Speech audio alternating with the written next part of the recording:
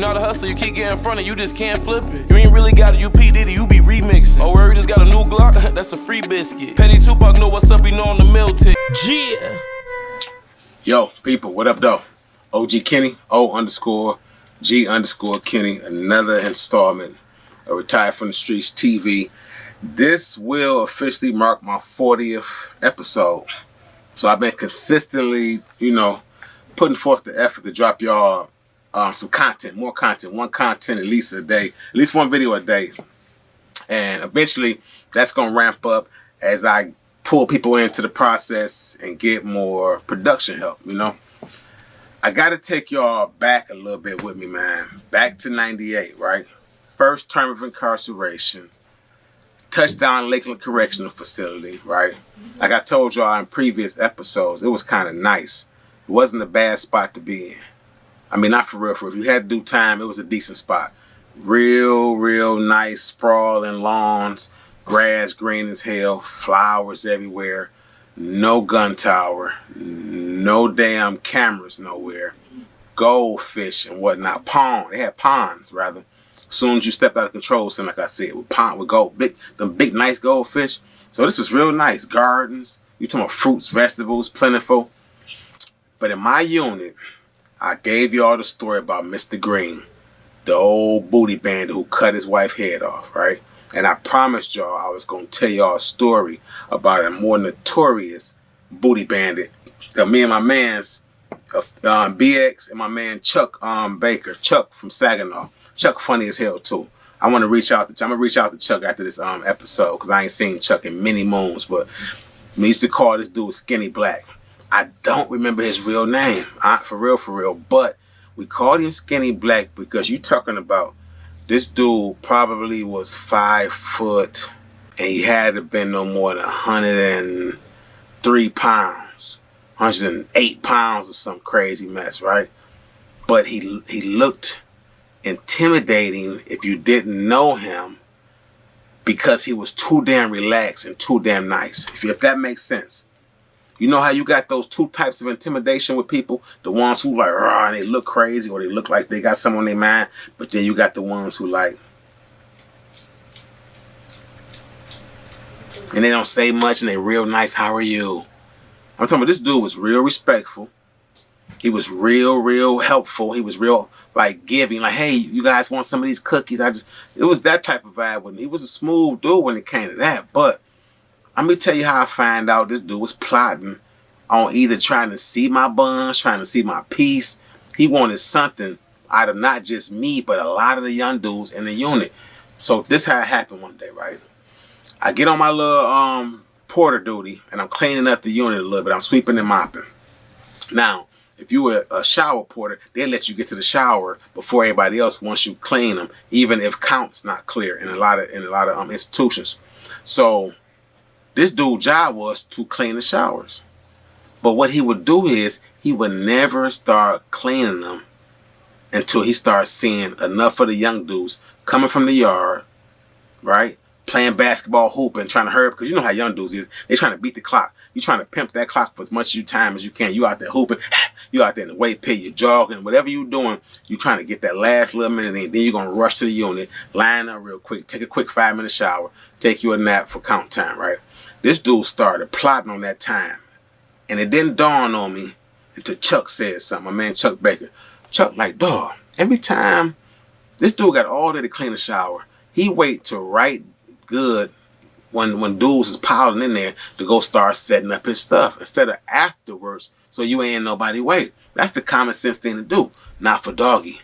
Now the first time we really start peeping it, I'm watching him. He looking, he on his bunk because we in the back in the corner of the unit. Chuck on the top bunk. Matter of fact, me and Chuck both on top bunks. Up under me was my dude um, Muhammad, Muslim brother, and then up under Chuck was my dude Joe, who I spoke of um, previously, who used to let me use his TV. My man, um, I spoke on him in the Booty Bandit video. Um, Joe Costello, I think his name was, out of Jackson, Michigan. Good Italian dude, right? They that was our little cube area. So we up there peeping him while he's plotting on the showers. So you see him and he see dudes coming in, he grab his gloves, the yellow gloves, the cleaning gloves, right? Then he wait for a minute and he grabs some more stuff. Then he walk around, he make his mop water and stuff, and he make this one, he go around, he push the bucket around. And I'm peeping him like, hold on.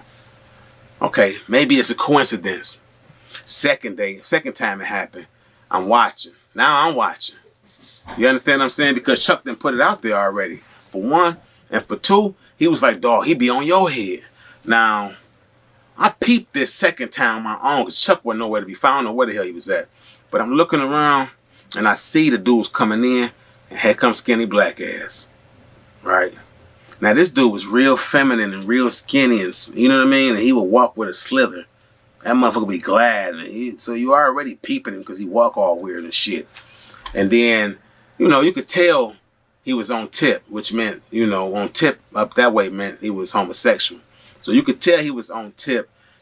I mean, no judgment, but the mannerisms, the way you talk, the way you look at dudes, ooh, you know, when you see a dude and it, oh, he fine. Come on now, you ain't doing all that unless you swinging for the other team, homie. So no disrespect, like I always say, because I don't judge nobody. But this dude was on tip.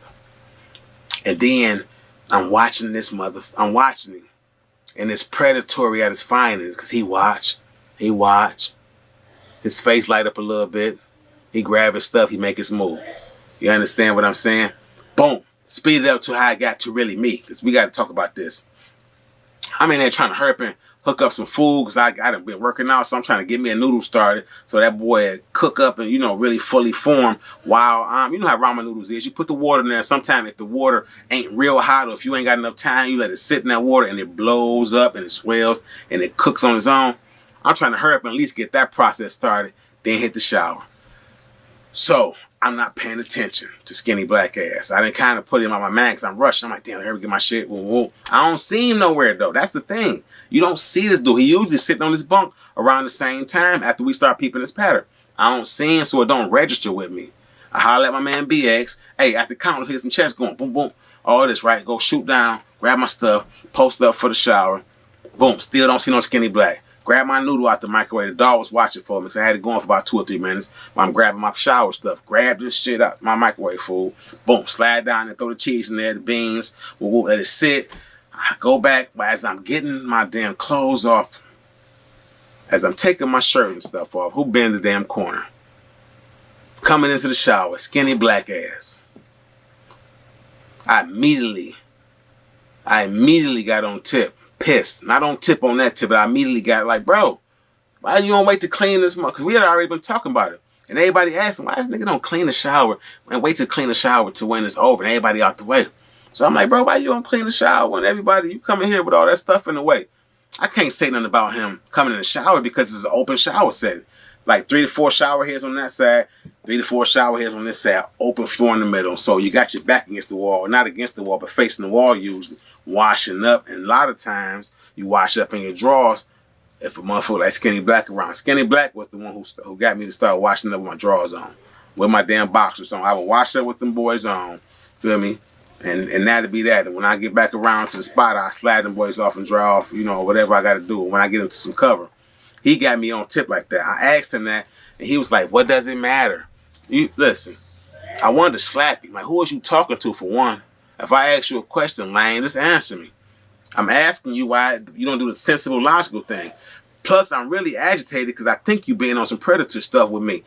I'm almost 90% sure you are. That was the first time. The second time, I promise you, because I thought about it, and I ain't like that. And you know how you put energies out there? Like, man, I want to slap, I want to slap this, man. I want to smash. You want to ask me some shit like that. Talk. It was more dialogue. I don't remember the specifics, but he was getting smart a little bit. So boom, come on, phone, shut up. So boom, that happened.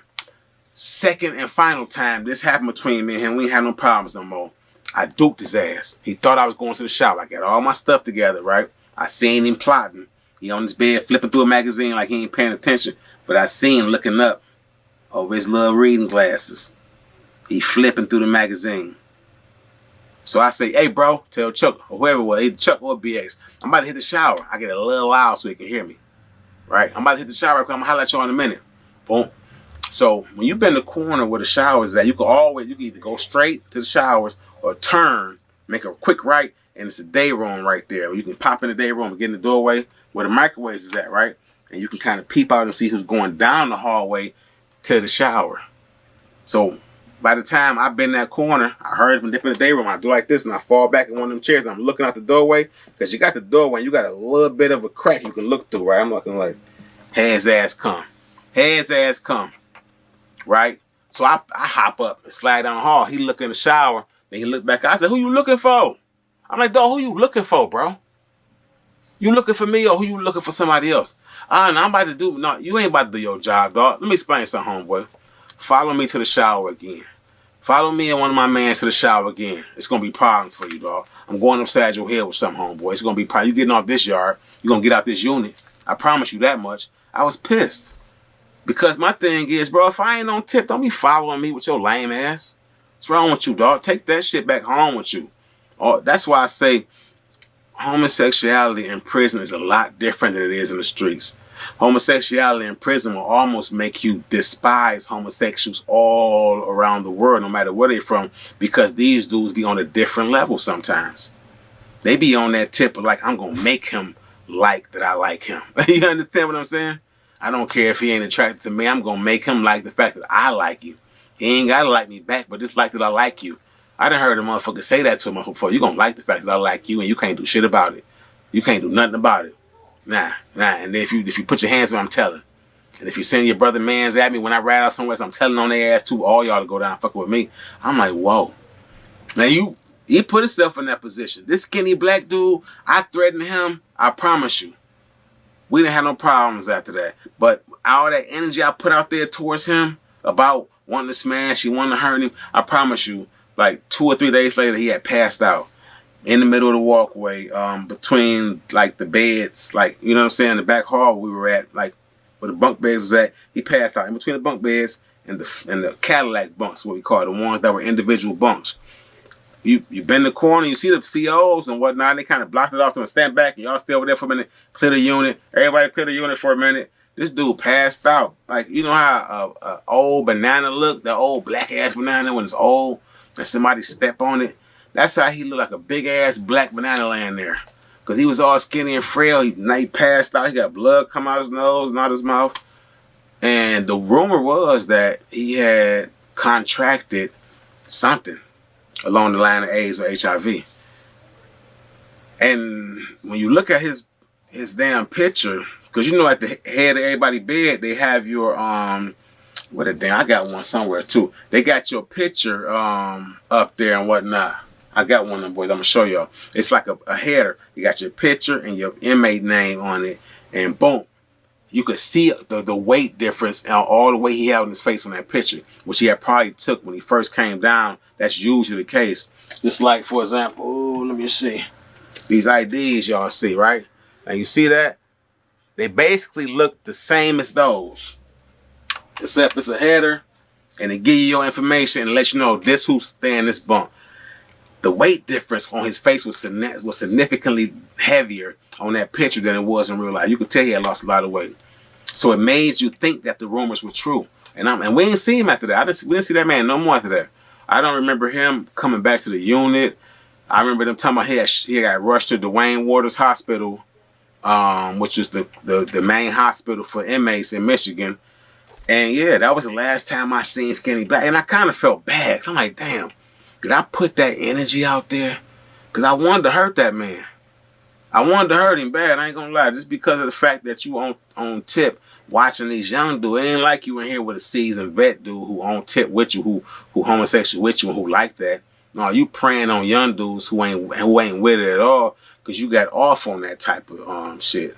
That turns you on probably. I mean, you know what I'm saying? Come on now. These dudes who ain't thinking about no homosexual activity ain't cut into you, ain't even looked your way, and every time they go wash their ass, hey, you come. So I, I, felt bad, and then again, I'm like, that's karma on your ass because you should have been chilling the fuck out. You should have been falling that back, Skinny Black. You know what I mean? So I don't know whatever happened to Skinny Black. I don't know what his case was. I don't know what he done after that. I just know that I was mad uncomfortable, and this was the first time I really started thinking about hurting somebody when I was in prison. That was probably one of the first times. Yeah, that was the first times I when I got to prison I thought about actually smashing somebody. And and I was all also a little intimidated because I'm like, uh, this dude black as hell. Not to talk about dark skinned people, but it's just like he looked menacing because he was so skinny with it and his structural shit with skeleton and all that was going on and sunken eyes a little bit. And it's like, bro, you look weird and you move all slithery. Like, I don't like it. I don't like that look for you, and it's not a good look for you being around here predator status on people, bro. I look, I appreciate y'all letting me rant. You know what I mean? Because I, I kept thinking, I, I'm like, I skipped the story somewhere along the lines, and that was one of the ones I skipped. That one, and the one for the green tag that I look. I dropped my hard drive a little while ago. Shit happens. I wanted to film it over just to give y'all another gist, and I might do that. Just started from scratch because what I got so far that I recovered is all over the place, man. Thank y'all for being patient with me. Thank y'all for appreciating and tuning in to episode 40, the Big 4 OG Kenny, O underscore G underscore Kenny, retired from the streets TV. Man, please look, do me a favor right now before you hit the subscribe button. Hit the subscribe button. Tell your people at work to hit the subscribe button. Do that.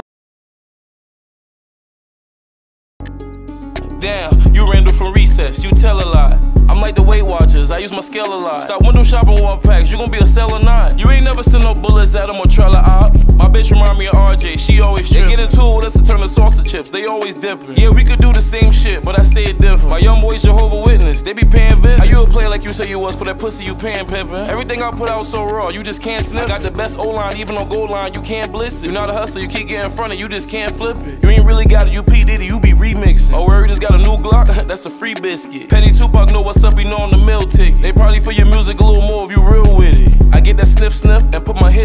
PlayStation party meetings, I'm about real big. I'm a SCD, I'm here, you don't like it, gotta deal with. I don't like that bowl, but it's so low, I'ma still get it. If you drink it green lean, take a pill with. I hope every real nigga doing time get a pill with. They say real, don't say they real, but I'm a real nigga. I ain't lying, even if I was blind, I wouldn't feel niggas.